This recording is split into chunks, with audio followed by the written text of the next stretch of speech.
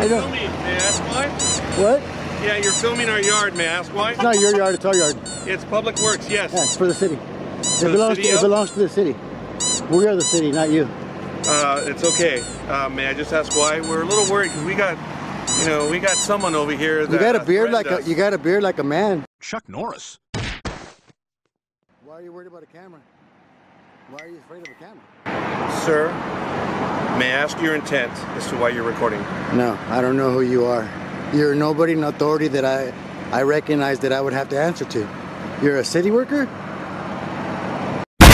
know what this is right here. All right, that's This is public sir. works, right? You obviously don't even know what this is. Uh, you sir, obviously don't way- know the First Amendment, sir. Are you shame on you? You're wearing a hat with the USS Iowa. You don't know my First Amendment? Shame on you.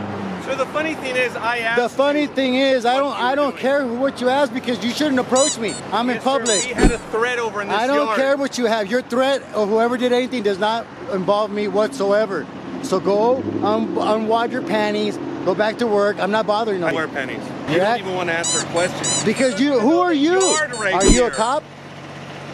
Sir, you know, I asked you a question. You just don't want to answer because you've got this trip for some reason. You got this trip that you think I have to answer you. That's your trip.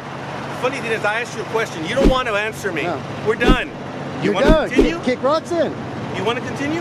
Do you? No, I'm asking you. Do you Then want to kick continue? rocks. Go back to work. Excuse me. What? Kick rocks. Go back to work.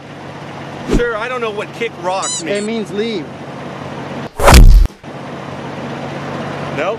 Look, look. You sound like an idiot. You're an Sir. idiot. You're an idiot, sir. Yeah. Shut just up. Just shut up. Don't tell me to shut I up. I just told you to shut up. Shouldn't bother people in the public, man. Thank you, sir. You know what? I'm actually relieved now. That way. Thank you. I'm gonna go back over here. Look. Oh, you see now, look.